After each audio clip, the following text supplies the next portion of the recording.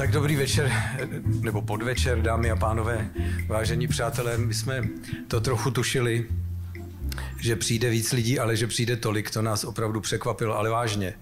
Původně Honza, Honza, to... Honza začíná být jako Karel Gott, kamkoliv, promiň, promiň, ale kamkoliv přijedeme a přijdou lidi, tak Honza říká, leto, to jsem opravdu nečekal. Jo? Teď si tak... ale tak připadám, že si můžu udělat dvě smyčky na to. Víte, ale je vás tady víc, je vás tady víc než v Brumburku.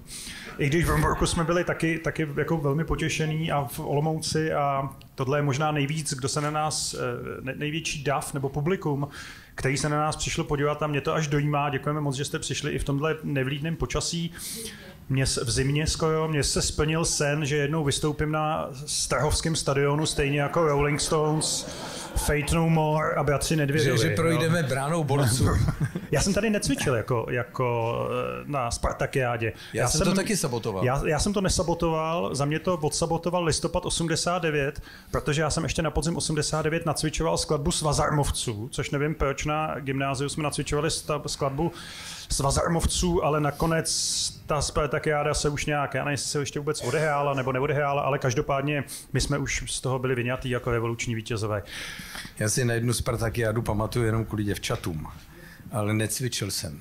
No, to už se nepamatuješ. Původně měli mít tu, eh, tu naší show eh, tady na konci. No show. No. Na, na konci ty tribuny. To je velmi zvláštní, jak ta stavba přežívá v takovém punkové podobě a přitom je to kulturní památka. Největší stadion na světě, říkají. No je to největší stadion na světě. No. A... Ale nejmenší stan jsme tu měli. A já když jsem to viděl, tak jsem říkal, eh, to bude asi malý. Tak s pomocí eh, techniků, kteří jsou bezvadní, to přesunuli sem, aby vám tady bylo větší teplo a více vás sem vešlo.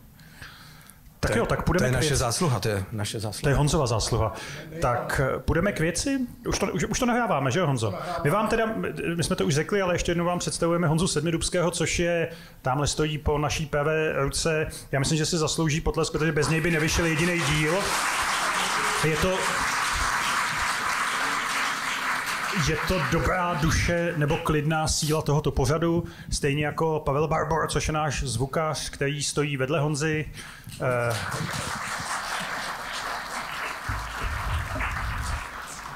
a to je všechno, komu chceme děkovat. Ne, není právě, protože musíme ukázat koláče, který jsme dostali. My jsme dostali koláče, to je My jsme dostali od Míši Doležalový herečky. My máme kamarády mezi herci, víte, eh, slavnými. A dostali jsme koláče, ona výborně peče ale naprosto skvěle. A vždycky, když je nějaká krize, což teď je pořád, tak Míša prostě peče.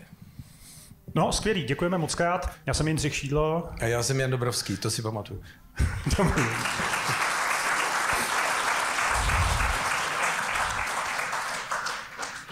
Tak jo, je několik, je 6 hodin eh, odpoledne nebo podvečer, to znamená, že před čtyřmi hodinami a asi sedmi minutami je 1. října, protože to nahráváme se zavřeli na volební místnosti na další tři měsíce asi, tak. Ano. A taky už se nemůžeme dočkat toho dalšího pokračování. Nicméně my jsme si řekli, že se zkusíme podívat na ty výsledky eh, jak těch senátních voleb, tak se nám do toho ale asi trochu přece jenom eh, dostanou nebo zamotají výsledky ještě komunální, ale abychom nebyli... A referendum. A, ano, a referenda, ale abychom nebyli jako jednorázová politická jako debata, taková, takové otázky Jana Dobrovského, tak eh, to chceme vzít v souvislosti nebo v kontextu toho, co prožíváme poslední měsíce a co, říkám to správně, když to nazýváme doba hněvu stoupajícího. No přijde to každopádně. No. Eh, doba hněvu, začínajícího hněvu. A, a čím eh, to bude delší, ta, ta, ta válečná situace a, a všechno, co je s tím spojený, to znamená jistý strádání, protože každý úbytek komfortu, na který si člověk zvykne, je vlastně vnímán jako strádání, přestože strádání má opravdický strádání poněkud jinou podobu, tak si to nejsme ne, neumíme si to připustit a neumíme si to představit, jak by to bylo, kdybychom strádali do opravdy. A někteří z nás do opravdy strádat budou, což je důležité říct, že to není úplně banální situace. Tak eh, hněv bude přicházet především na to, že že to nemá řešení, že je před náma vlastně doba, která, která nepřináší světlo na konci tunelu a že vlastně nevíme trochu, co s tím. Nevíme, co se svými životy a hlavně nemáme autoritu, o kterou se můžeme opřít. Ta autorita dříve byla tvořena a v nedávných dobách byla tvořena autoritou státu, autoritou politikou, předtím autoritou Pána Boha a především autoritou vědy u nás v Čechách, speciálně proto, že jsme společnost eh, vinou komunistického režimu vlastně totálně agnostická, bezvěrecká. A teď jsme v situaci po covidu, kdy najednou autoritu ztratil úplně každý.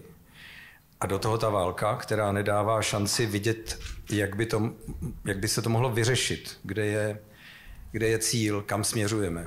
A ten hněv je přirozenou reakcí toho, že nevíme, co s tím. Tohle si chtěl slyšet. Jo, jo, jo, já jsem tím chtěl vlastně poukázat, jaký průběh dnešní debata, nebo tady naše povídání bude mít. Bude to jedna vlastně dlouhá, velmi pesimistická přednáška, do které já se pokusím občas vstoupit byť se mi to moc nepovede. A pak vám samozřejmě dáme i možnost případně k tomu, abyste se vyjádřili nebo zeptali něco i vy.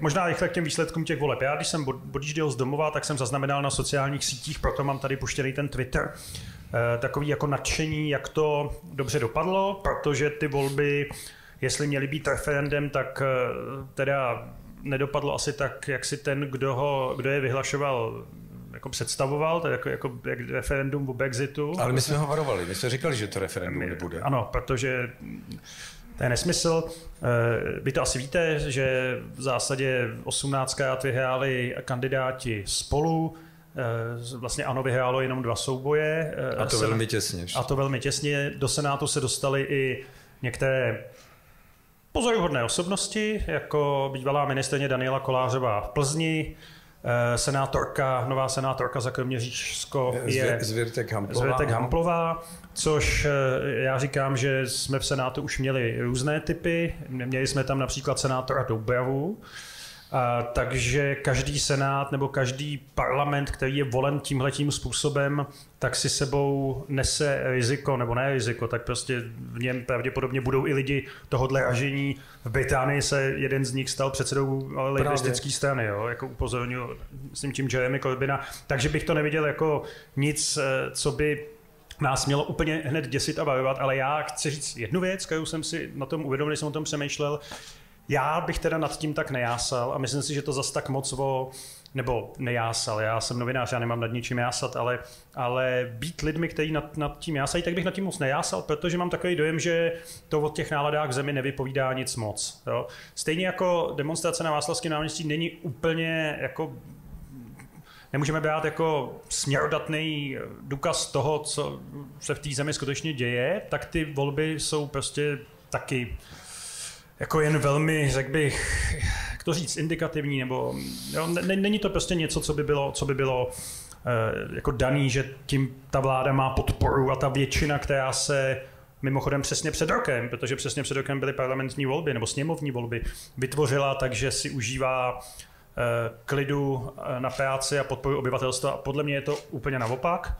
Podle mě je to daný volebním systémem, většinovým dvoukolovým, je to daný volební účastí, která tak tak atakovala hranici 20%, což je o 40% méně, než chodí v těch volbách sněmovních.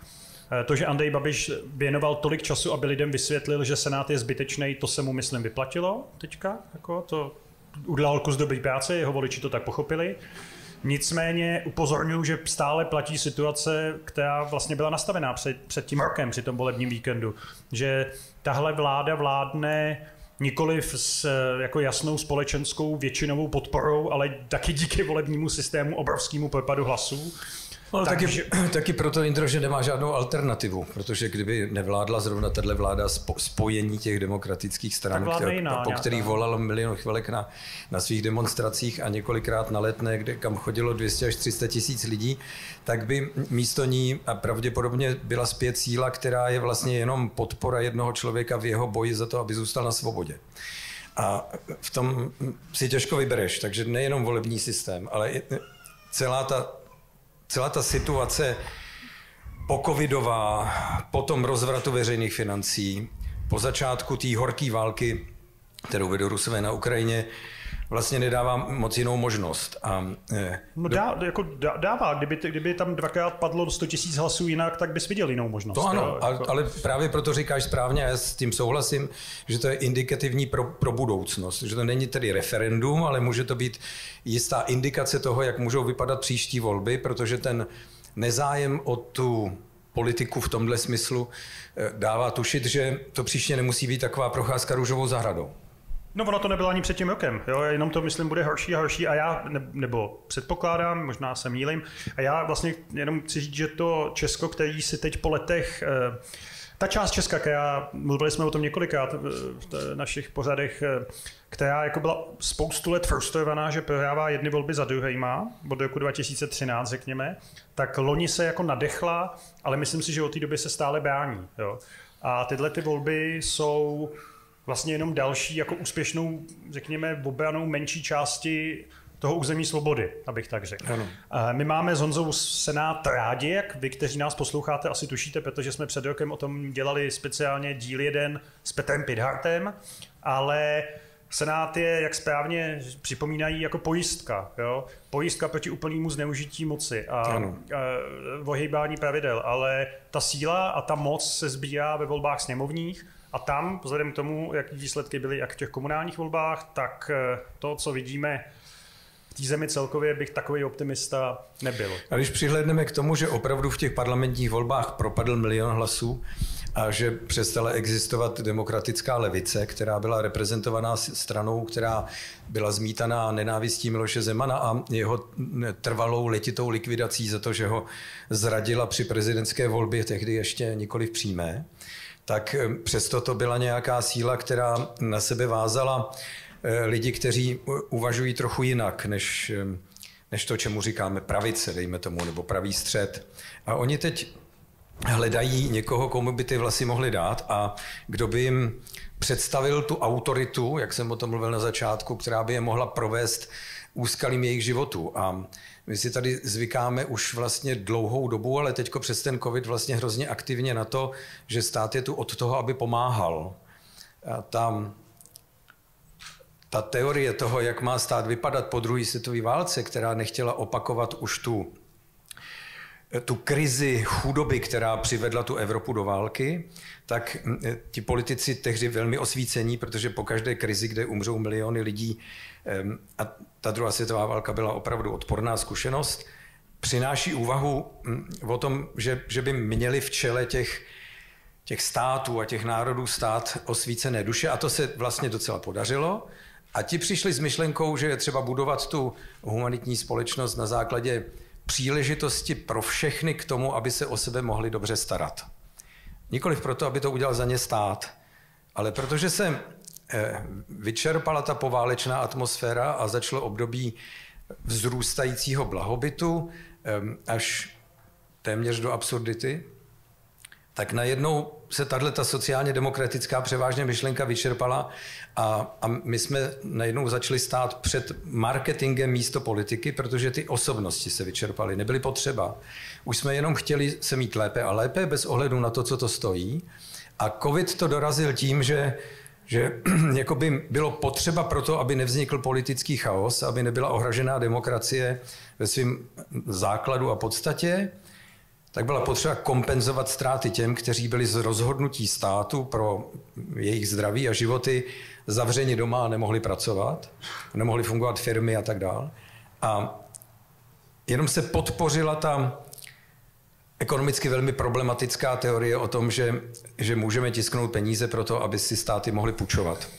A teď jsme v situaci, kdy jsme to měli nahrazovat, z toho je ta naše inflace, měli bychom to nějak kompenzovat, což ekonomové říkají, že vždycky musí přejít přes inflaci, to znamená přes to znehodnocení peněz do recese a pak, že se znova zvedneme, ale do toho ta válka a velmi cílevědomá práce ruské propagandy a ruské manipulace k tomu, abychom začali mít krizi energetickou, přestože energie máme vlastně relativně dost. Ale ten, ta příprava ruská byla velmi dlouhá. My jsme tady se dostali do závislosti na ruském plynu, přestože někteří říkali, nedělejme to, ale stalo se to. A tahle neřešitelnost bude, musíme nějak překročit. A nepůjde to jen tak. Ano, bude to to, co jsme tady už naznačili, krušná cesta. No, jasně, teď je otázka, jaký projdeme. Jo? A e, já si pamatuju, že před deseti lety zhruba, když ta situace v té zemi taky nebyla úplně idylická, respektive ta země se už asi čtvrtý rok plácala v ekonomické krizi, která vypadala, že je nekonečná, jo, která ne, ne, neměla to, na co my teď čekáme. Já, já, mně to připadá, jestli znáte film Deep Impact nebo Armageddon, že nejdřív na ten New York padají jenom kousky těch toho meteoritu a pak je ten dopad toho meteoritu. Tak ty kousky už vidíme, a, nebo jsme viděli, a teď e, čekáme na dopad toho celého. A nevíme, kdy to přijde, který den, jo, jestli to je vyučtování příští už za elektřinu. A tahle nejistota spolu spojená, a to si myslím, že má Honza pravdu, s tou dílkou toho, vlastně, že my už téměř dva a půl roku žijeme v nenormální situaci, samozřejmě jako vede k netrpělivosti, k, k strachu, a k jednoduché zneužitelnosti té situace. Jo. Přičemž my jsme si kladli otázku, nebo asi si vidíte v tom veřejném prostoru otázku, v čem je rozdíl mezi těma lidmi, kteří demonstrovali proti vládě před třema rokama na letní a těma, kteří demonstrují proti téhle vládě. Já jsem potom v roce 2012 začal mimochodem proto, že není pravda, že bychom tady nezažili jako velikánský protivládní manifestace. V roce 2012 bylo fakt 120 tisíc lidí v centru Prahy Eh, protestovalo proti eh, Kalouskovi a Nečasovi, Kalouskově vládě, tehdy tomu říkali, to je dobrý, jak se to nese ten, jako přes generace, ten eh, Kalouskova vláda. A Akorát ten rozdíl byl tom, že v čele té demonstrace tehdy stály odbory mm-hmm. a na konci té demonstrace se ten nenáviděný minister financí Kalousek vzal toho šéfa odboru až na pivo jo, do, k muzeu. Tak on byl nakonec jedním z konstruktivních politiků, na kterého se dalo spolehnout, že nepřekročí svůj mravní stín. Kdo? No ten šéf odborů. Tam. Zavadil? No ne, celkově. Jo. šéfové odborů do, do, do doby, eh, o který ty mluvíš, byly vlastně vždycky velmi konstruktivní osoby. To je pravda. Tam oni jako v podstatě jsou dodnes, že jo? Ale Například možná taky... budou te, tehdy eh, předseda Senátu Štech byl jeden z velmi konstruktivních politiků, myslím. Eh, demokratických. No jasně, ale te, jako teď je otázka, co, je, co jsou ty demonstrace eh, velikánský v jejich čele. Honza Sedmidubský eh, to pojmenoval takovým bonmotem. Říkal, no. že to milion chvilek pro demokracii nahrazuje milion nadávek na demokracii. No, to je hezký, myslím docela. Že ty říkáš, že jsou to protivládní demonstrace, já bych se s nimi trochu nezahazoval, ale myslím, že kdyby byly protivládní, vypadaly by jinak. Oni jsou to demonstrace propagandy. Jsou to demonstrace, které chtějí jenom zvýšit nespokojenost a tu míru zloby. Eh, jestli jsou namířený proti vládě, tak je to jenom prostředek té propagandy. Vláda v tom hraje minimální roli, protože to, co jí vyčítají, jsou hovadiny. Oni usilují o rozvrat systému. To, co tam říkají ty lidi, který nebudu jmenovat, abych je eh, zbytečně nepopularizoval, tak eh, to, to nejsou kritiky vládní politiky, to jsou v Moskvě Solověvem naučený věty, které opakují s železnou pravidelností, který mají jediný cíl způsobit chaos tím, že neexistuje pravda.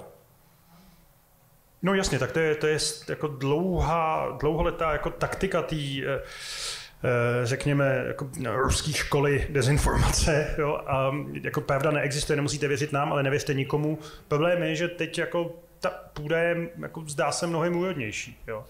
Mimochodem, já se vždycky chlubím, jak mi chodí ty řetězové e-maily, tak eh, chodí pořád, teda chodí čím dál víc. A je zajímavý, že teď se ke mně dostal před několika dny e-mail, který vlastně jakoby předjímal situaci, která teprve nastala, že, a to je to, že Rusko teda ukradlo kus ukrajinského území. A tím pádem my, když podporujeme Ukrajinu, tak ona útočí na území Ruska. Pak už je taková fantasmagorie, že tím pádem Rusko zautočí na nás, protože se bude bránit a my si nemůžeme říct na to o pomoc, protože eh, jsme zautočili první. Je to takové, jako je to trošku komplikovaný, ale jako většina těch mailů, ale jako v zásadě to míří tímhle tím směrem a bylo zjevně, že to jako je nachystaný na tu chvíli jako kdy se to stane a kdy bude potřeba vysvětlit, že ano, že, že to, co oni ukradli, je Rusko. Já k tomu chci říct jenom jednu větu, ať se spustím k tvému monologu, mm-hmm. ale chci ocenit, a toho jsem si všiml v posledních dnech, to, jak se změnil tón zpravodajství české televize, velmi užitečně. Ono to mhm. souvisí s tím, o čem ty mluvíš a chceš mluvit o té propagandě, že ta česká televize jakoby se vykašlala na nějakou zbytečnou opatrnost, na takovýto povinný vyvažování, jo, jako, nebo ne, povinný, já to nemyslím zlé, já jsem v české televizi pracoval a vím, jak je to složitý, jako tam zachovávat tu neutralitu. Tak mám pocit, že česká televize ji opustila a prostě mluví o tom jako o zločinu, už tam jenom chybí, aby to nazývali, aby prostě Putina nazývali jako vůdcem banditů, tohle sice nepožejí, ale jinak jako způsob, kterým to pojímají, už není to, co se často těm médiím, zejména veřejnoprávním, ale nám taky vytýká, jako že ten má jeden názor, ten má druhý názor, tak pojďme ty dva názory takhle pustit a necháme si, aby si lidi vybrali, ale že tomu dává jasný jako kontext a vlastně, vlastně komentář, což je jako v historii té televize bych řekl téměř poprvé, takhle jednoznačně, ale podle mě to je jako hrozně dobře a není, není způsob, jak se bránit jinak. No kež by to přetrvalo. My jsme tady měli takovou žurnalistickou doktrínu, že hm, si hrajeme soutěž Zkus mi dát dobrou odpověď. Že respondent je od toho, abych se nezajímal o to, co si myslí, co posouvá věci dál, ale aby mě odpověděl na otázky, které jsem jako, jako ten, kdo ten rozhovor vede, pozbíral po internetu v těch nejhorších žumpách, jak on si s tím poradí a jak odpoví na největší možnou idioci, kterou eh, jsem někde zaznamenal. Tak takový, taková žurnalistika nevede nikam, protože to není ani dialog. To je jenom pokus o to, že já jsem připravenější než ten, kdo, koho jsem si pozval. Jestli si někoho zvu, tak si mám něco dozvědět. A my se opravdu teprve teď probíráme z toho překvapení, že propaganda je zbraň, že to je válečný nástroj, který působí jako, jako hromadný ničení. Je to něco, který je velmi podobný třeba, já nevím, opravdu chemický zbraní nebo něčemu podobnému. Protože to naprosto penetruje civilizaci jako takovou, Vytváří to, eh, ta, ten cíl je chaos, protože demokracie sama o sobě je velmi chaotický uspořádání vedení státu a rovnováhu tvoří dialog. Ale v tom dialogu je potřeba používat argumenty a argumenty musí mít nějakou bázi na pravdě postavenou, protože pravda může být diskutabilní a ta diskuze se vede, ale když tom nebude žádná pravda, tak není vůbec důvod ten dialog vést.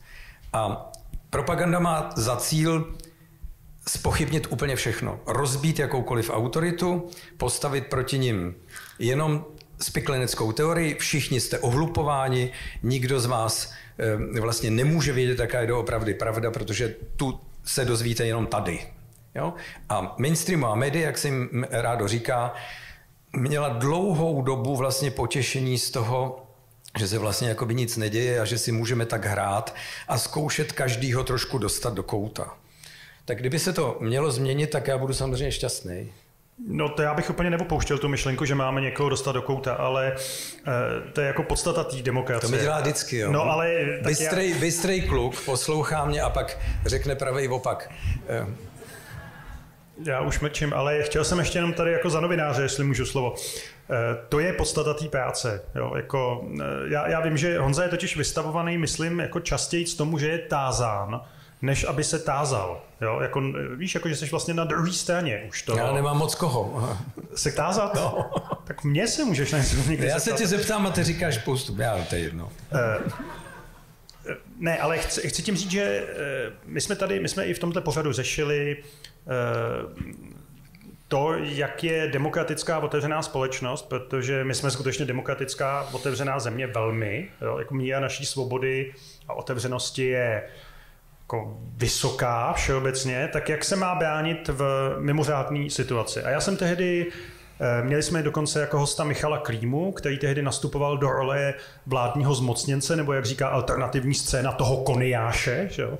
A eh, tehdy se řešilo to vypínání webů a já pořád jako strvám na tom, že to nebylo správně, že to ten stát dělat nemá, zvlášť jako bez zákona, ale zároveň si za těch půl roku uvědomuju, že moje jako idealistický téměř nadšení pro co nejsvobodnější demokracii a e, svobodu slova minimálně omezovanou, byť nějaký omezení samozřejmě má, z mého pohledu jako jasný, takže fakt jako najáží na na to, že ta druhá strana je úplně bez pravidel. Jo? Nebo jako no. to je, já si, můžu ještě říct slovo, než ti to zase předám na chvilku. Řekni ho, no, no, já to vydržím. 20 sekund. Já už jsem to tady říkal jednou v tom pořadu, já doporučuji film Brexit všem se podívat, který popisuje, jak se stalo, že Británie vystoupila z Evropské unie. A tam v jednom momentu říká šéf kampaně za to, aby zůstali, že ta druhá strana je, to znamená ta kampaň Leave, je úplně dokonalá v tom, že oni jenom takhle hážou na různé místa toho hřiště bomby, která vždycky vybuchne, oni ji běžejí hasit, oni se tím, jo, nebo zasypávat, oni se tím baví a hodí úplně to samý někam nebo něco jiného o kus dál. Jo? A že pořád udržují vlastně jako náskok, byť ty věci, ty bomby, které házejí, jsou vlastně nesmyslné. Jo. A to si myslím, že jsme v podobné situaci. Teda. Absolutně, my jsme jo. totiž v zásadním dilematu. Eh, demokracie je postavená na svobodě, především na svobodě slova.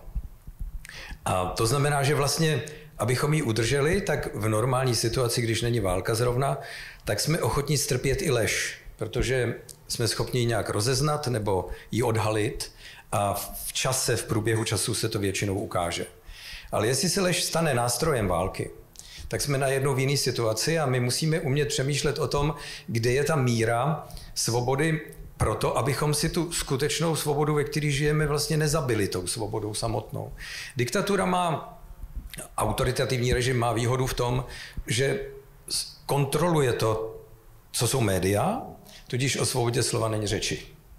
A ten, kdo vládne, určuje, co je tou veřejnou pravdou a tou propagandou, kterou má pro sebe, to znamená pro, pro tu svoji enklávu, pro svůj národ, pro ty, který ovládá, jenom jako nástroj poslušnosti nebo vytváření strachu.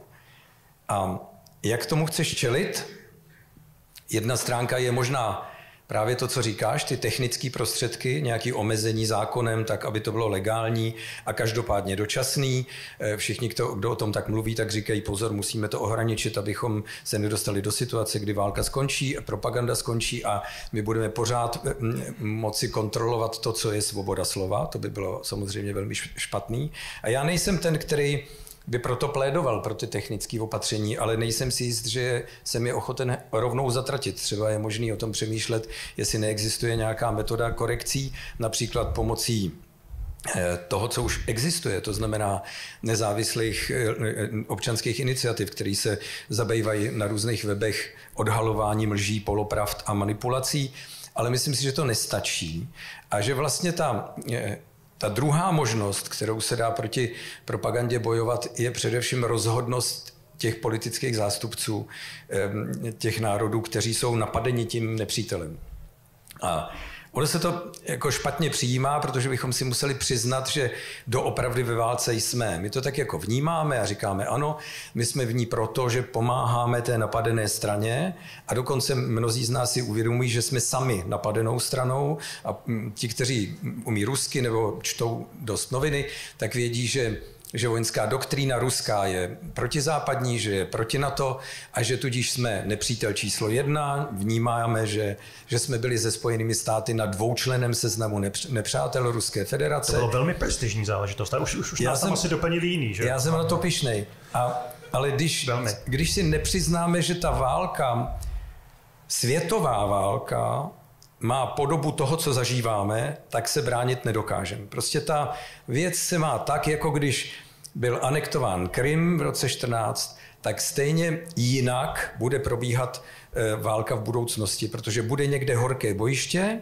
tak jako studená válka to měla, a někde jinde bude boj vedený propagandou, vyškolenými rozvraceči, v podstatě to vidíme kolem sebe. Teď jsem se úplně, teď jsem spokojený se sebou, tím to hezky. To já poznám, to já poznám, no. Mám mluvit nebo, nebo se si jenom nadechoval? Ne, prosím tě, já teď, teď bych potřeboval pauzu. no, eh, já, abychom se jako od, eh, jako vrátili trochu do těch událostí posledních dnů, který eh, který byly, kromě těch voleb teda, vyplněný taky těma lidovými demonstracema, tak já jsem, já jsem říkal, že jsme zažili i větší protivládní protesty, nicméně si nejsem jistý, že končí a mně na nich přijde zajímavá jedna věc a to, jako by se i vlastně normální opozice, kterou tady máme, legitimně zvolenou parlamentní opozici, stávala pro ty lidi na těch náměstích jako už příliš establishmentovou, jako kdyby prostě Tomio Okamura už byl jako příliš vtažený do Jo, chodí do té televize a má tiskovky na ČT24 a už je vlastně součást toho systému. Já myslím, že někteří lidi možná i docela dobře chápou, že tohle je všechno, co on chce. Jo, jako, že on jako, jen aby nemusel vládnout, ne jako náhodou někdy. Jo. Tohle, idea, tohle takhle komunisti přežili v parlamentu 30 let. Že jo. A, a ten Okamura je vlastně být z jiné strany, tak je v velmi podobné pozici a že i on na ně přestává být jako trochu radikální. Nemluvě o hnutí ano, jo, to už je úplný jako establishment. A že se objevují další a další uh, jako skupiny, politici, jednotlivci, který uh, jsou zatím mimo ten parlament, ale jsou o to radikálnější. Uh, to, že v zásadě jenom opakujou Oni vlastně říkají, já když posloucháte toho Reichla, tak on říká to tež, co říká Okamura. Akorát u toho víc řve jo, a mává rukama a občas dokáže být ještě něco drsnější. Nemá to přímo čeře z Moskvy. To je, to je ten no. rozdíl mezi Okamorou, který to kryje, protože to je komerční projekt. A mně se zdá, že v těchto těch krizích, do kterých se právě dostáváme, jsou komerční politické projekty eh, vlastně na, na hraně propasti, protože oni nemají co nabídnout. Oni můžou něco rozdávat, ale když není co, tak v tu chvíli vlastně ztrácí význam ta jejich poloha, ve který by tu chtěli být takzvaně pro všechny, aby se ukázalo, že chtějí dobře pro lidi. Jo, my chceme dělat věci pro lidi, neříká jenom Okamura. Jo. Oba ty projekty jsou vlastně komerční svým způsobem. No, jas tak. Takže tam je hranice, to vidět třeba na, teďko zrovna na Bolsonarově situaci v Brazílii.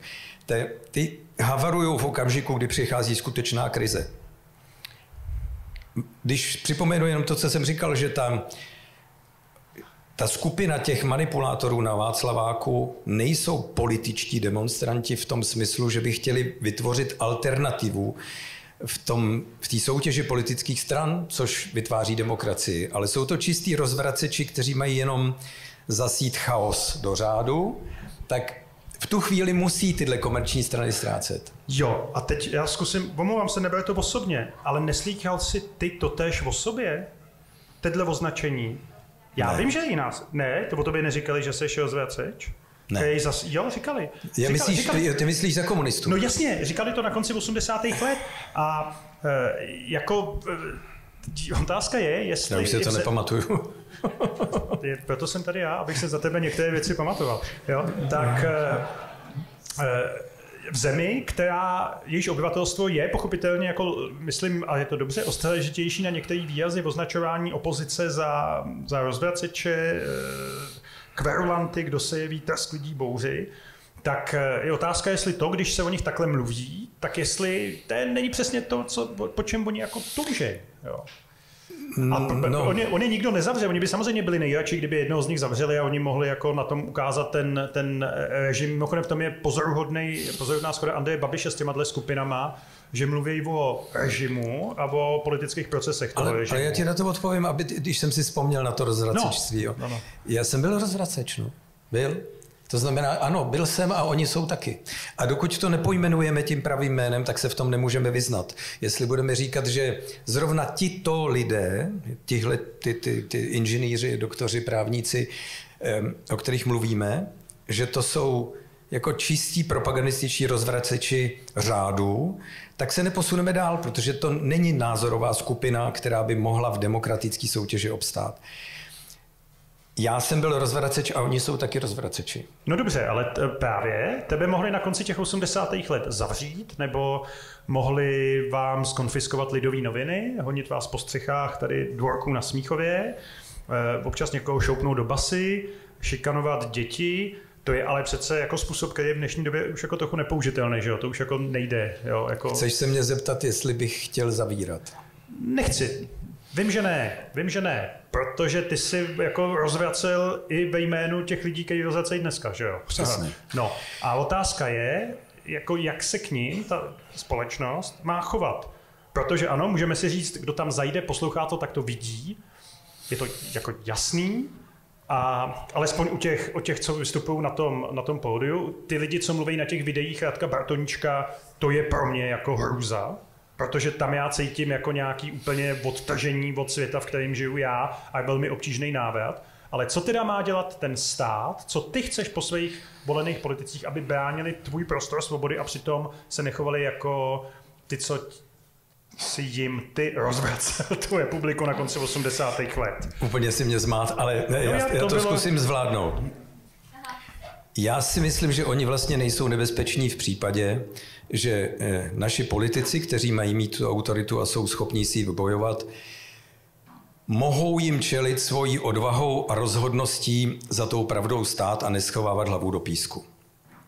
Když dokážou lidem říct, co je čeká, jakým způsobem se tomu můžeme bránit a budou oslavovat ty, kteří jsou stejná cílová skupina, jak pro, pro ty politiky, o kterých mluvím, tak pro ty ne, propagandisty, tak se můžeme potěšit tím, že nebude tolik obětí té propagandy, jako kdyby to nedělali.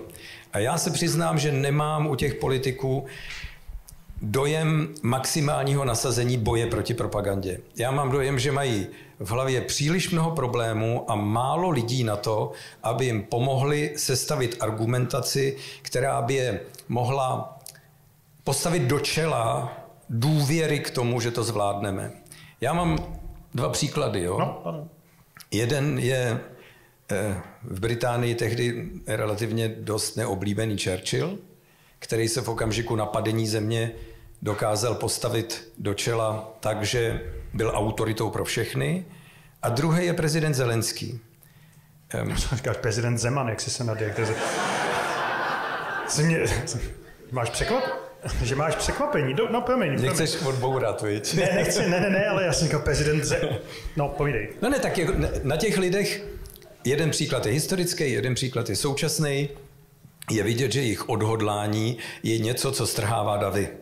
Jo, jo, ale Churchill, promiň, ne, jako nečelil uh, řetězovým e-mailům a uh, sociálním sítím a Zelenskýmu prostě napadly zemi. Jo? To znamená, že je ve výjimečném stavu taky s výjimečnýma pravomocema ve výjimečné no, pro. Proto od začátku říkám, že nám napadly zemi a že si to řekněme. Jo? Napadly nám zemi. Dobře, a co teda máme dělat? Když jsme tady zahajovali ve čtvrtek večer eh, ten festival paměti národa, tu, tu slávu, za kterou jsem moc rád, tak za vládu vystoupil Vítek Rakušan. Všichni vědí, že já mám rád Vítka Rakušana, eh, vážím si ho, ale říkal jsem si, co ten člověk řekne za toho Fialu a on vystoupil, Vít Rakušan byl v rakouském svetru. Originál, eh, originální. Nomen omen. A řekl, eh, nerad to říkám, ale musím, jsme ve válce a jsme její součástí. Já jsem měl takovou radost, že slyším místo předsedu vlády říkat pravdu na plný pecky, že mě to vlastně dojelo.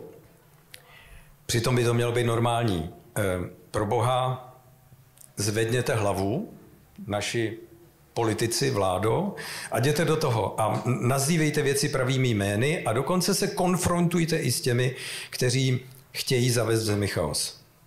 No dobře, ale já pořád řeším jak. Jako mě to mimochodem moc neuklidňuje, když mi tohle to řekne ministr vnitra. Jo? A... To tě nemá uklidnit.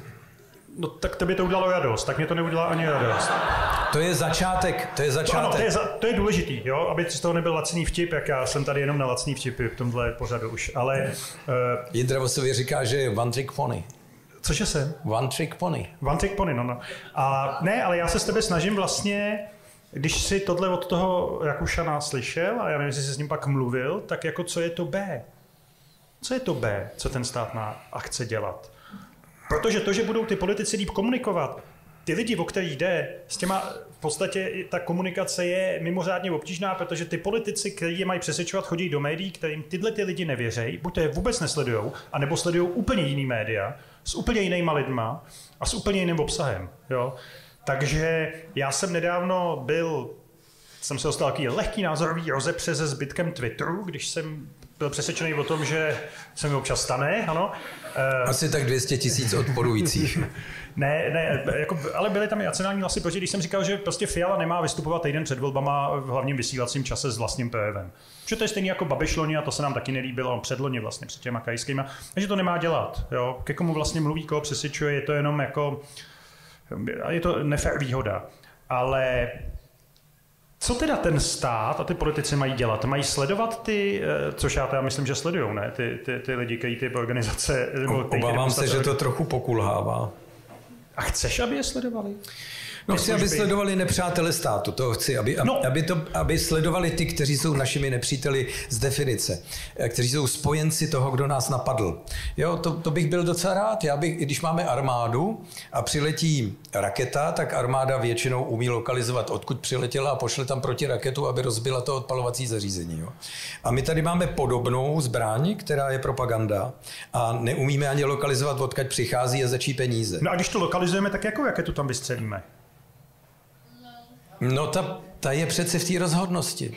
Ta, ta je jenom v tom, že, že si tu pravdu zachováme, že za ní umíme stát a že i když Samozřejmě to spoustu lidí přesvědčí, takže udržíme tou jasnou, ráznou komunikací a rozhodností většinu v tom, že víme, za co bojujeme. Bude to stačit? Myslíš? Jestli to nebude stačit, tak je s námi jsme no. dospěli do klasické fáze uprostřed pozadu, kdy máme pocit, že se apokalypsa blíží, že jo? Ne, vůbec ne. Já, e, vůbec ne, já to vidím velmi optimisticky. Já si myslím, že to dopadne bezvadně a že to nebude ani dlouho trvat. Jo. Ty, ty znáš tu, to moje přesvědčení o tom, že Rusové prohráli válku před dvěma měsíci a že to už je, je nějaká blíže neurčená doba, kdy se to bude vypořádávat. Jo. A myslím, že to tak je, že se můžeme dočkat ještě nějakých nepříjemností, které můžou být docela vážný. A, a že hlavní nepříjemnost je, až ta válka bude vyhraná, protože budou dvě území zcela eh, jedno rozbitý, to je Ukrajina, eh, ze kterou si budeme muset všichni společně v nějaké jednotě poradit, aby tam nevznikl chaos a, a z toho občanského národa, který tou válkou vzniknul, nebyla najednou zase kmenová válka uvnitř Ukrajiny, a na druhou stranu pravděpodobně se rozpadající Rusko na jednotlivý národy a, a sekvence, který spolu kooperují jenom proto, že se bojí nekooperovat. Hmm. A už jsme to zažili za Jelcina, kdy největší obavou západu bylo, že nevíme přesně, do kterých teroristických rukou se dostane která jaderná hlavice. Jo? Tak to, to já už radši přemýšlím o téhle budoucnosti. Já jsem si vlastně uvědomil jednu věc, když jsem si tak jako rekapituloval poslední rok, který byl jako mimořádně rychlej že, ve vývoji té země, tak jsem si uvědomil, že vlastně máme nesnad štěstí, ale že tahle země jako byla schopná se bránit a, a tím možná preventivně zabránila daleko větším škodám a situaci daleko horší, který jsme mohli být. A to jsou ty vrbětice. Stejně tak mi to připomnělo, že ještě před rokem a půl tady byly vážné úvahy, jako že by mohla Rosatom dostavět jadernou elektrárnu. Na to bych nezapomínal, na, na, na lidi, kteří to tlačili. Eh, že ty Vrbětici fakticky odrovnali vliv eh, prezidenta Zemana. Zlikvidovali tady jako jednu velk, jedno velký hnízdo ruský rezidentury. Tím pádem oslabili, myslím, dost významně tu sílu těch ruských kolaborantů, tady. Ale or, i orientaci na Německo, protože tady byla rezidentura i pro Německo a pro, pro okolní Jasně. země. Tohle byla, myslím, jako velká věc, kterou my jsme tehdy o tom dělali speciálně díl, že byl, byl to asi třetí díl našeho podcastu a tam jsme říkali, jak to je důležité a jsem rád, že jsme se nezmílili. Plus samozřejmě myslím, že trochu pomohla játra Miloše Zemana, která, to myslím nikoli v cynicky, ale jeho zdravotní stav před rokem vlastně on mu neumožňoval, on vlastně přijal tu, tu danost, jakože s tou zemí už jako nemůže hýbat tak jako před rokem. A Myslím, že teda to, jak musí být teď zmatený jeho fanoušci, nebo musí mít pocit, e, jako co se to stalo. Jo? On odsuzuje anexy části území, když o tom Krymu říkal, že to je fait accompli. Jo? Eh, I když je potřeba říct, že on na začátku v tom roce 2014 to přirovnával k roku 68, to nicméně pak jako udělal ten svůj takový jako útěk za, za, za na druhou stranu. Takže to si myslím, že v, tomhle, v, tom, v tom problému, v kterém jsme, máme vlastně ještě štěstí, že kus práce na této frontě bylo jako vykonáno mm-hmm. tou operací, mm-hmm. ale eh, nevím, jak by měla vypadat jako operace Brbětice 2, aby to prostě zásadně nenarušilo jako základní práva, svobody a, a to, co, jako, to, o co se vlastně bojíme. To je ta jako liberální demokracie. No právě. Uh, ona je slabá proti diktatuře, pochopitelně, demokracie, no. protože právě připouští jiné názory a vede s nima dialog. A eh, v tom okamžiku je proti diktatuře vždycky oslabená tím, když to někdo chce narušovat a rozbíjet a, a cíli vědomě. Před 20 lety jsme měli debatu o tom, jestli se má opravdu plynofikovat tak, jak jsme si naplánovali a někteří, eh, kteří měli o Rusku svou jasnou představu, tak říkali, nedělejte to, protože plyn je vojensko-taktický prostředek Putinova establishmentu a bude se to horšit. A on je imperialista, který bude chtít vrátit hranice Sovětského svazu do, do původních mezí. A ten plyn bude zbraní, kterou nás dostane do úzkých. Tak to se přesně stalo, nikdo tomu nechtěl moc věřit, ani prezident Obama tenkrát. Jo? A my máme ještě jednu kliku, a to, že jsme členy Evropské unie, že ta unie vytváří vlastně zářnou jednotu ve své jako historické nejednotě postojů k čemukoliv. Ta, ta unie je přece trochu něco jiného než Spojené státy. Ty mají federální vládu, mají federální parlament, je to, je to státní útvar. A zatímco Evropská unie je jenom dohoda a jednotlivých národních států, kteří se shodli na tom, že budou mít společný pohyb zboží a kapitálu. A přesto nás to vede, to společné ohrožení, ke společnému postupu, jak se bránit. A to i proti té propagandě. Říkej. Ne, ne, ne, ne neříkám, ty říkej. No, já ne. jsem se jenom nadechnul, že si tím nejsem tak jistý, ale... No ne, já jsem chtěl to trošku spochybnit tu... No, no, no. Spochybni sám sebe, to je... No, no, ne, no, protože chci být objektivní, jo. Ta nejednota spočívá v tom, že každá z těch zemí má nějaký svůj vlastní zájem. Některá chce být hegemonem Evropy, jako třeba Francie proti Německu a Německo v minulosti. Teď teďko se vlastně chová trošku jinak. Ehm, někteří by chtěli něco vyobchodovat z toho, že budou s něčím souhlasit. Někteří vlastně nevědí trošku, ze, co ze sebou a jsou... Uh, jak, jak bys nazval eh, roli eh, prezidenta Orbána? Premiéra Orbána. No zvláštní. No, no. právě. Takže eh, máme, máme v tom... Pokud oni, pozor, ale pokud oni víme všechno. Já teda jsem slyšel, že oni nevíme úplně všechno, že přesto, že to Maďarsko samozřejmě hraje takovou jako zvláštní hru, mimochodem na nich je vidět, jak je bezvadný nápad nechat si od Rusů stavět jadernou elektrárnu, že jo, mm-hmm. ten, ten Pax. Mm-hmm. A e, jako na první dobu řekne, řekneš, že Orbán je jako ruská tady uh, ruský výsadek ve střední Evropě. A on je to možná jenom obchodník. Jo? A ono to možná tak není. Plně, no. Ale tím, jak obchoduje, tak vlastně je tím ruským agentem, protože oslabuje tu evropskou jednotu. Podívejme se, jak se tam eh, to, to uvědomění si ohrožení vyvíjí od východu na západ. Přece jenom mě fascinovaly průzkumy veřejného mínění v Německu, kde zelení, přátelé, jsou na hranici 90% podpory boje proti Rusku třeba a Die Linke, což jsou bývalí komunisti na, východ, na východě Německa, 51% pro boj proti ruskému agresorovi. Ten ten německý národ je daleko vyhraněnější najednou než jeho politická reprezentace. Zatímco francouzi zcela upřímně si nemyslí, že to je jejich válka, že jsou v ohrožení. Ale Britové jo. Ale Britové ano. Ono to je trošku závislý taky na tom, jaká byla role těch jednotlivých zemí během druhé světové války a co se během ní eh, odehrávalo a kdo vlastně byl ochoten se bránit. Podívejte se na Polsko, ta země napadená, rozdělená, která má hrdost a, a vy, vykoupila si ten svůj národ krví. Zatímco máme tady spoustu fašistických pohrobků. Kde? Eh, v Evropě. Jako státu.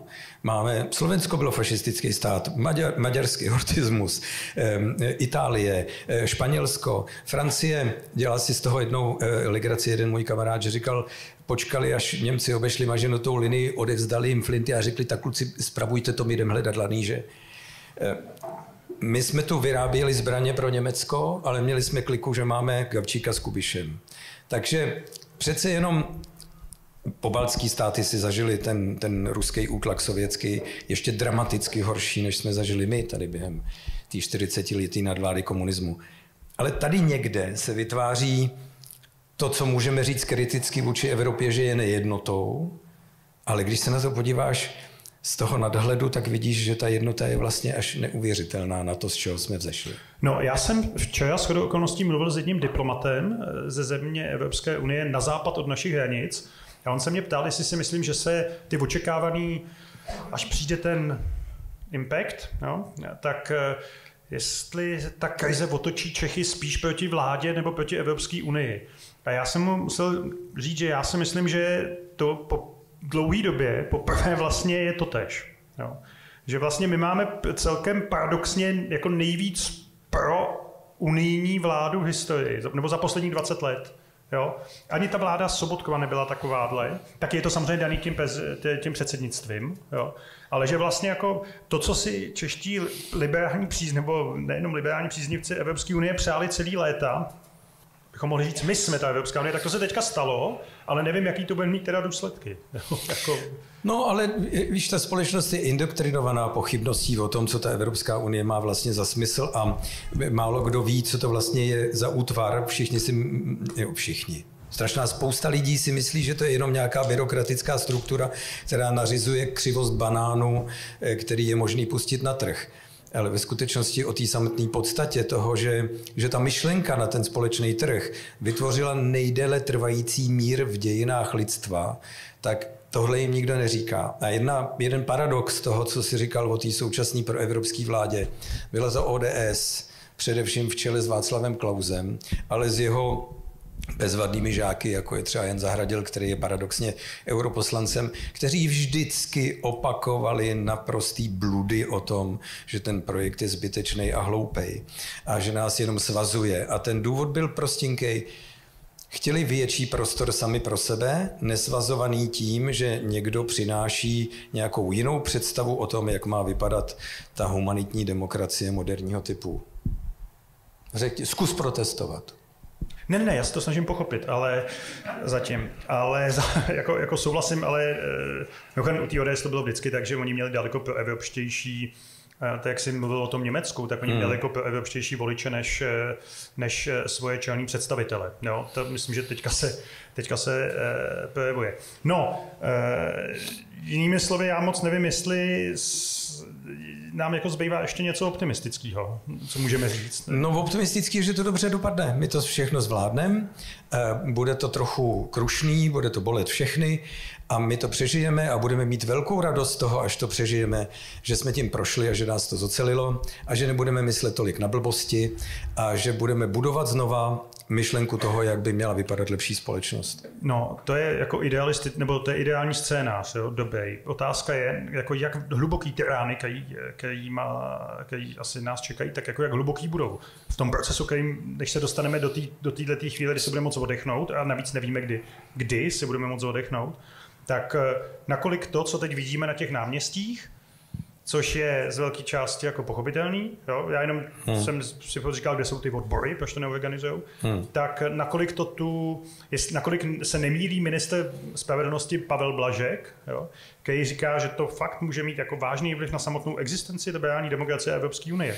No říká to proto, že, že alarmuje, že, že jako volá pozor, mohlo by to dopadnout blbě, když všichni skloníme hlavu a řekneme, tu pitomost, že se nemá pomáhat Ukrajině, protože nám do toho nic není, že se jenom vtahujeme do větších problémů. Je dokonce jedna taková zkušenost historická, že čím větší krizí projdeš, tak tím hodnotnější posléze získáš emoci. Ehm, ty, já jsem neříkal marně o tom, jak po druhé světové válce najednou začala být poptávka po skutečných osobnostech v čelech států. Jo, tak najednou přestanou být poptávka po marketingových šašcích a bude poptávka po lepších osobnostech. A oni budou mít třeba daleko větší vůli a chuť do té politiky jít a riskovat. Otázka je, kdo v té době bude vládnout. Ty máš furt otázky, prosím tě, věř. No, já, si, já, jenom, já jenom upozorňuji, že za tři měsíce jsou prezidentské volby, jo, který asi mnoho naznačí. Jo. Já si myslím, že tahle vláda jako nemá moc šanci, než vydržet další tři roky, zavřít oči a běžet tím temným lesem jo, a pokud možno ho proběhnout, že se nemůže jako spadnout, že by jako to byl konec pro řadu z nich. No, ale jako kladu si otázku, jestli ty tři roky, které máme před sebou do, do dalších voleb v ideální situaci, jsou dostatečný, aby se, to je jak když zafixuješ hypotéku. Jo? Já jsem zafixoval loni, aha, loni v srpnu, takže já jsem spokojený. A jenom doufám, že to pětiletý období, že za pět let ty sazby budou zase jako zpátky tam, kde jsem to fixoval. A říkám si, jestli tohleto uh, volební období vlastně není fixace demokracie, jo? jestli za ty tři roky ta země bude alespoň jako v tak špatném stavu jako dneska. Jestli nemůže být daleko horším. No celou dobu tady mluvíme o tom, jak to udělat, aby nebyla. No. A já to právě furt nechápu. Ale... ale to jste vy novináři. Vy to prostě v sobě máte. Vy nechápete nic. Vám se to musí pořád do kolečka vysvětlovat. Já v pondělí zavolám do institutu Václava Klauze, jestli by Václav Klaus se mnou se mnou nechtěl dělat podcast. Jo? Jako...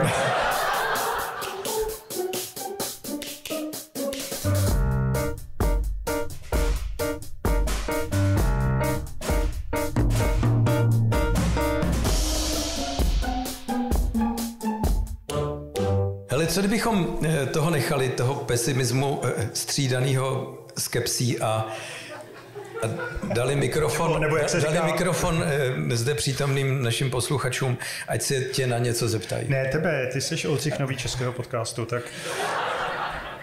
Eh, ano, to, to si řekl hezky. Jak jsi říkal, skepse... S, s pesimismem, no. Jo, jo, tak, to, tak, tak by se vlastně jako mohl jmenovat celý ten podcast. Jako.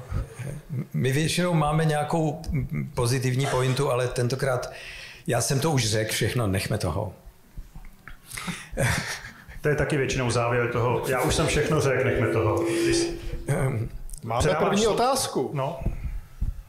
Dobrý večer. Předně hodně zdraví k narozeninám, to jsme asi nemohli minout, že budou. A... Myslíte mě? Já jsem myslel, že se to neví, ale moc děkuju, moc děkuju. A mnoho otázek. Kdo udělal díru do potrubí, kdo uchopí Václavský náměstí pro příští volby a co plyne z, teda z výsledků dnešních voleb a průběhu soudu pro prezidentskou volbu. Možná vyberte si, na co chcete no, odpovědět. Začni potrubím. Já jsem na potrubí dobrý. Na všechno. Tak proč ta trubka vylítla do, do vzduchu, nebo respektive do moře? Um, jak, to je jenom můj pohled na věc, jo, tak jak já to vidím a, a nemusí to být vůbec pravda. Podle mýho soudu to vybouchlo proto, abychom se všichni ptali, kdo za to může. Jo? A nikdy nenašli odpověď. To znamená další cesta k popření pravdy, respektive k tomu, aby vznikly spiklenecké teorie, obava z terorismu a možná ještě taky obvinění někoho, kdo vyníkem být nemůže. To znamená, a kdo se vlastně nemá jak bránit, protože když o někom řeknete, že przní malý holčičky, tak on může maximálně říct, že neprzní malý holčičky a titulek vyjde popírá, že by prznil malý holčičky. Jo. Tak to je celý důvod toho, proč ten plynovod eh, vybouch. Z mýho vidění světa. A není možný říct, že to vím s jistotou, nebo kdokoliv, že to ví s jistotou. Těch možností, komu by to mohlo něco přinést, je z mnoha úhlů pohledu strašně moc, ale já si myslím, že ten skutečný cíl je jenom ten chaos. Mimochodem, a tohle, ten, mně se ten příklad zdal nejdřív nemoc dobrý s tím prazněním holčiček v uvozovkách, protože to je samozřejmě něco, co jako pokud hraješ v těch médiích podle pravidel, tak udělat nemůžeš, protože tím riskuješ jako minimálně, pokud nemáš pravdu, jako obrovskou, jako žalobu, obrovský penále možná, jo, důvěryhodnost, když, seš, když sedíš za tím řetězem mailem a tohle pošle, že někdo prazní holčičky, tak neriskuješ v zásadě vůbec nic. Jo? A to, je, to je ten rozdíl možná, o kterém se tady celou dobu bavíme. Takže kdo to teda vyhodil do V mém případě musím připomenout, že jedna slavná politička, která letos vyhrála skoro 70%, eh, o mě něco podobného řekla a taky to nemůžu vyčítat, protože vlastně nemám jak. Nemám jak se bránit. No, můžeš se bránit žalobou. No a tu soudy nesoudějí souděj. Trvalo to 12 let, ale jako no, souděj. Právě, no. Prezidentský volby, já, já jsem dneska čet na eh, jako spoustu úvah, že tohle bylo jako pro Andreje Babiše zkouška, jako jestli má cenu jít do druhého kola v takovýhle společenské situaci, já si myslím, že to tak není, že to je jako do specifická situace. Přece jenom jako eh, souboj oblíbeného senátora, jaký tam je senátor, jak dlouho? 12 let s, jako s problematickou, že to spíš jako, on to využil podle mě jako na nakopnutí té kampaně, permanentní kampaně, která jako může skončit u prezidentských voleb, ale taky může skončit u předčasných voleb, teoreticky, když je to dost složitý, anebo může skončit až u těch příštích uh, sněmovních voleb. Já mimochodem dneska, myslím, oznámili, že ta koalice, že že dají doporučení 4. října, nebo že řeknou, co budou dělat. Já si myslím, že nejlepší by bylo z hlediska těch kandidátů, pokud by neříkali nic, tím se dají nejvíc zvýšit jejich šance. Já bych o to prosil. Jo. A já, já nevím, jestli Andrej Babiš bude kandidovat. Teďka bych řekl, že spíš ne, si myslím, ale jako všimněte si, že on má tu kampaň v ruce, jo? protože do chvíle, dokud on se nevyjádří, tak jako ty kandidáti asi mají připravenou taktiku na obě varianty, ale on je game changer, že? On prostě, jestli do toho půjde, tak eh, ty volby budou vypadat jinak i jako díky fascinaci médií postavou Andreje Babiše, i díky jeho silou v těch médiích. A pokud do toho nepůjde, tak jako ten tak to bude podle mě jako až příliš idylická volba, mám takový dojem. Neboj. Nebude, ne. No ne, tak ale když to srovnáš, já se nebojím, já, já vím, že ne, ale když to srovnáš s rokem 2013, což byla jako občanská válka téměř, a 2018, což bylo její volný pokračování, tak ve chvíli, kdy tam bude chybět jako takhle dělící postava, protože i kdyby tam vyslal Alenu Schillerovou nebo Karla Havlíčka, to nejsou takovýhle postavy. Takhle jako takhle vypjatý. Jako byť se snaží oba, ale e, není to tak, jako nedospěli k tomu. Když nebude kandidovat Andrej Babiš, co bude dělat ten Rus, který bude připravovat tu manipulaci? Bude si muset vybrat nějaký téma, který má tu prezidentskou volbu poškodí a je to pro něj daleko levnější, než používat nějaké rakety nebo kanony na tenhle prostor. A prokazatelně to dělá i v jiných zemích jo? a u jiných voleb. To znamená, na, dočkáme se ještě nějakých překvapení, no, které nebudou úplně příjemné. No, ale mimochodem, to je možná dobrý Věděli jsme minimálně v roce 2018, kdo chtěl, tak věděl, že Miloš Zeman je kandidát Moskvy. Jo, on tam ještě letěl před těma volbama, že jo, na konci roku 2017 tam se hráli tu komedii s tím, že by šel nějaký článek v ruském vojenském časopise, že 68. byl fajn a Miloš Zeman se tak jako mohl bohradit proti tomu. Jo. Hrozná komedie, ale bylo jasný, kdo tam, kdo je kdo. Přesto, přesto si ho lidi zvolili, v tom roce 2013 to mělo možná jiný důvody, ale 2018 to těm lidem nevadilo, což jako, nevím, nakolik se ty nálady hnuly, ale pravděpodobně jo, možná. Ale kdo je teda kandidát Moskvy letos? No to nevíme ještě. No? No ještě nevíme. Jako už nominovalo, že jako koalice, Musíme... takže čekáme, až se vyjádří koalice spolu, Piráti, ANO a Moskva, jo, mm. jako kdo je její kandidát letos. Na to bych čekal, no. Podle toho bych se rozhodoval. A ještě tam, byla, ještě, ještě tam bylo něco třetího? Václavský náměstí do dalších voleb? To je, to je dobrá otázka. Já si myslím, že, že, že jednak to nevíme, ale že, eh, nebo to nevíme jasně, já nevím nic, ale eh, já si myslím, že u toho ten Okamura s Babišem museli trochu znervoznit, jo? protože těch, kolik tam bylo, sedm, řekněme 80, ať já, já nechci to, jako ty, ta čísla jako záměrně snižovat, ale těch tak prostě... půl druhého milionu asi přibližně. Půl, eh, půl druhého milionu lidí tam přišlo a byli svolaný jako mimo parlamentníma subjektama v podstatě, že jo? SPD tu demonstraci vlastně první ignorovalo, až myslím na Foldinu, protože ten nepochopil instrukce. A každá sněmovna má svého Foldinu. A že jo, Kobza tam, poslanec Kobza tam odmítnul vystoupit nakonec a eh, on ten, ten rybník nespokojených voličů není taky nekonečný. Jo? A jako vlastně se perete z obou těch stran, jako o, o jistý omezený množství voličů. A já si myslím, že to, co vidíme, takovou tu ještě vyhocenější retoriku Andreje Babiše, nehle, ne, nemluvě o tom je o Kamujovi, takže já chci na to, jo? že oni vědí, že eh, vědí, že na ně z, z jiné strany jako útočí někdo, nebo, nebo případně atakuje a je plně nebezpečí někdo, jako kdo je, mluví ještě ostřejc než oni. Jo? A proto ten Andrej Babiš tu, tu retoriku taky, taky zvyšuje.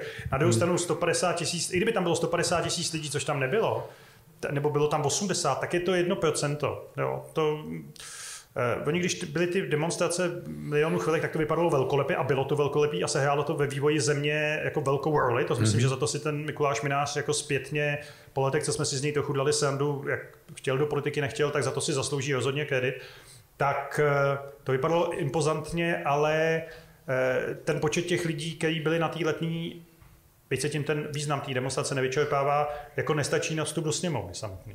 Ne, to určitě ne, ale něco to signalizuje. Jo. No, signalizuje Teď, teďko na tom Václaváku bylo dramaticky mín těch lidí, eh, taky se asi rychleji unavějí, možná, že jsou to zrovna lidi, kteří nemají opravdu smysl je nějak přesvědčovat, zatímco ta první dávka, která tam přišla, byla třeba možná idealisticky viděno, překvapená tou retorikou, už nepřišla po druhý. Možná, že přijde po třetí, nevím. Nebo přijde na ty odbory, což je vlastně bezpečné. Ale, ale pozor, jo, ne, tady jedna věc, která je důležitá a která se dá taky historicky přečíst z jiných zemí, jak to probíhá. Vytvořit boj Václaváku proti Václaváku nebo letný proti letný může být taky docela pěkná poukázka na občanskou válku. Jo? Abych byl velmi opatrný na to zvyšování těch emocí a na to, aby se v ulicích řešily ty témata tak, jako že si budou proti sobě stát ty ty skupiny, které proti sobě vzájemně protestují. My jsme o tom s Jindrou mluvili v jednom díle našeho podcastu, eh, kdy jsme upozorňovali na to, že protesty proti mítingům Andreje Babiše vlastně Andrej Babišovi pomáhají eh, v okamžiku, kdy, se, kdy to přerůstá v útok hmm. a kdy to přestává být kultivovaný. A myslím, že to je důležité si to zachovat. A když ty demonstrace třeba 17. listopadu předpokládám, že bude určitě eh, demonstrace demokratická, když si zachová kultivovanost a bude mluvit o tématech, které mají smysl, tak prosím, to je asi důležitá věc. No, jas, jako, jasně, že hodně lidí, protože 17. listopad je nejautentičtěji prožívaný svátek. Jo? Je generace, která se nad tím stále dojímá, my dva. A já jsem ta poslední asi. A pro spoustu lidí je opravdu důležitá. Takže nepochybně spoustu lidí do těch ulic jako přijde spontánně, dokonce já vím o tom, že se chystá pochod z Albertova směrem na Václavský náměstí, kde bude koncert pro svobodu, který já budu moderovat a já se děsím té chvíli, kdy tam ten průvod dojde na to Václavský náměstí a z druhé strany přijde a já být eh, velitel speciálních operací v České republice, tak pošlu ty protestující přesně 17. listopadu na to Václavský náměstí. A to je něco, co jako může být jako velmi nepříjemná situace. No právě, my jsme jeden ten slavný rok, který to byl, Jindro, ty si to pamatuješ? Určitě. Byli svědky toho, že na tom Albertově na tribuně stál konvička vedle Miloše Zemana 2015. a Miloš Zeman vedle konvičky a byli jsme z toho zděšený a říkali jsme si, že hlubší dno snad nemůže existovat. Jo? No takhle, můžeme být klidní, že Miloš Zeman letos 17. listopadu nikde stát nebude. Jo? Jako... To Ani, jsem... nebo nemyslím stát, myslím, že se prostě nebude nikde vyskytovat, jo, aby, aby to neznělo. Já jako jsem nechtěl nechtěl vyvolávat duchy, já jsem chtěl jenom ukázat, že to dno může být někde daleko hloubší. Tak dobrá. Já se chci zeptat, jestli by mohla tomu té fixaci demokracie pomoct uh, nějaký vzkříšení české demokratické levice.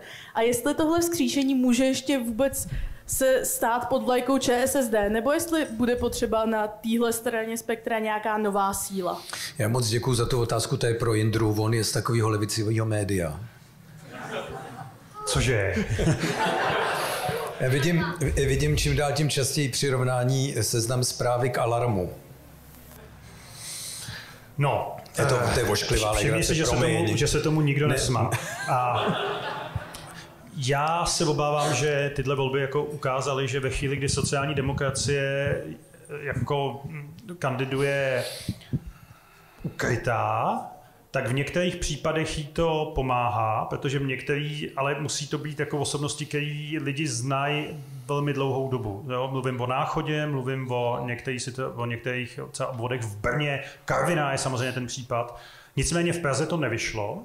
Mimochodem, já vždycky říkám jenom takový hezký příklad, říkal jsem to v tom minulém podcastu, tady jenom zopakuju. U nás na Praze 7, kde ještě před 12 lety měli sociální demokrati 15%, tak letos nedokázali postavit do 29 členního zastupitelstva víc než 11 lidí.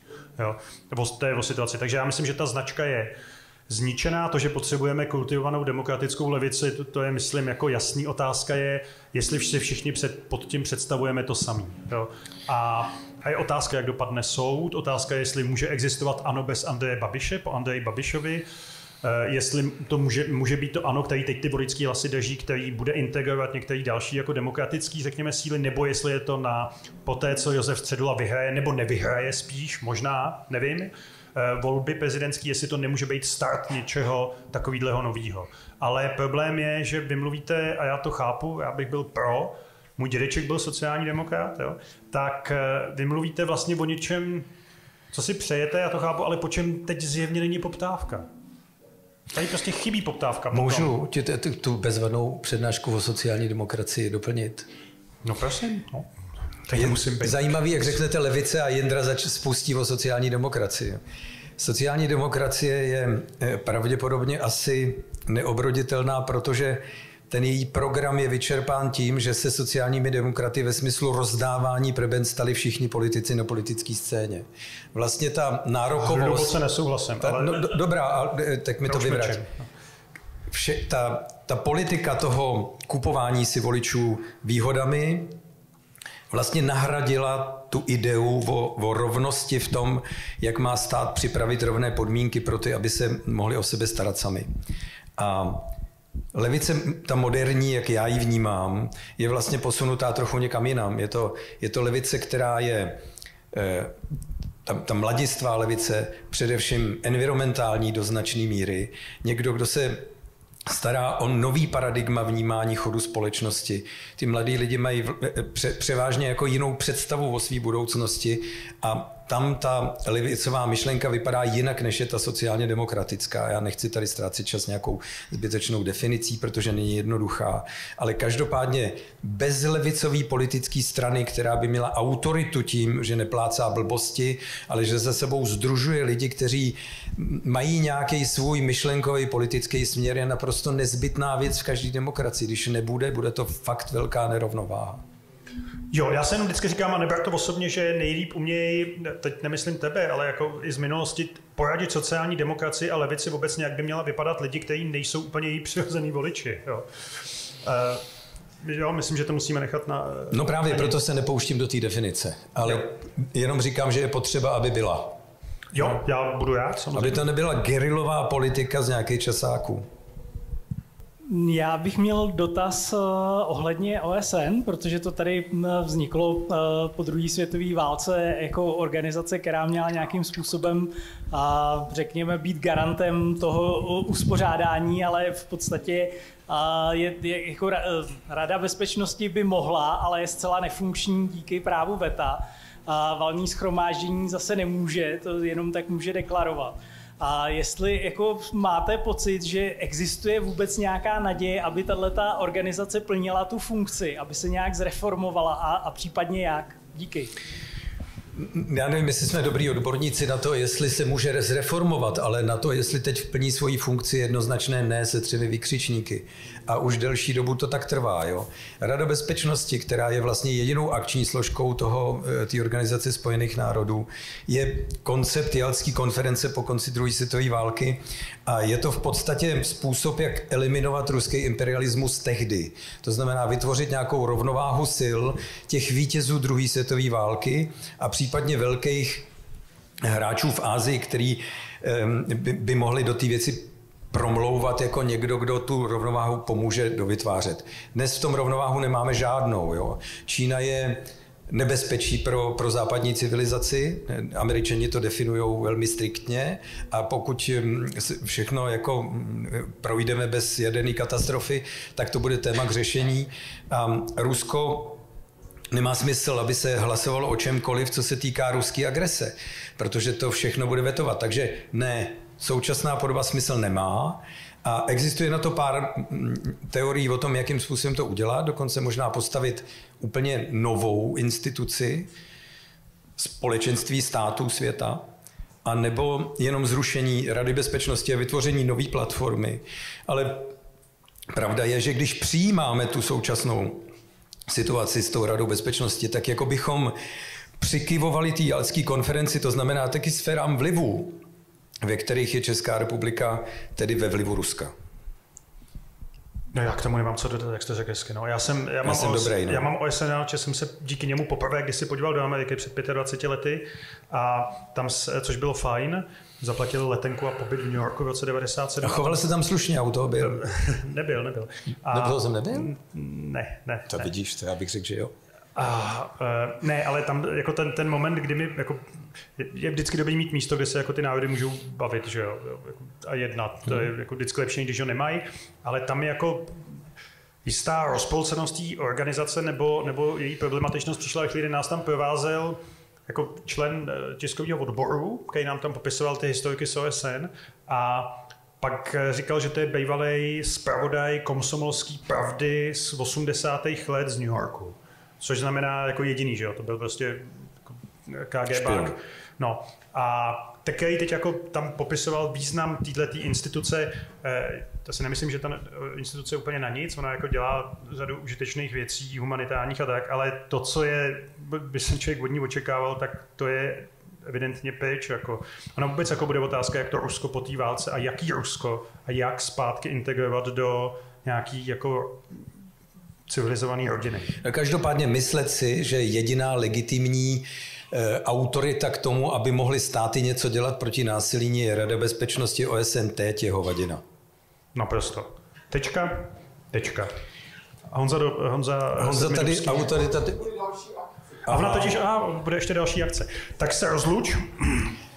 My, my vám moc děkujeme, že jste to s námi vydrželi. Ano. Eh, jsem si nejsem vůbec jistý, jestli eh, jsme vás nějak neznudili, nebo jestli to stálo za to, ale eh, dobrá, děkujeme moc. A my jsme vám zavázáni za tu příležitost, že jsme před vámi mohli takhle sedět. Mě je strašná zima, ale proč vydržím jsi, to. Proč jsi nevzal ten kapát? Já jsem si ho sundal, protože jsem chtěl jít za frajera. Tak jo, my vám moc krát děkujeme, děkujeme, že nás posloucháte. Eh, mimochodem, kdybyste nám chtěli dát hlasy v křišťálový lupě, bylo by to fajn, děkuju. A, ale není to podmínka. A eh, Zase někdy příště se určitě uvidíme v Praze nebo někde jinde. Teď míříme do Liberce, že jo, pak do Ostravy. A e, takže se určitě uvidíme. Díky moc. E, užijte si ještě hezký sobotní večer. Já jsem Jindřich Šídlo. A já jsem Jan Dobrovský.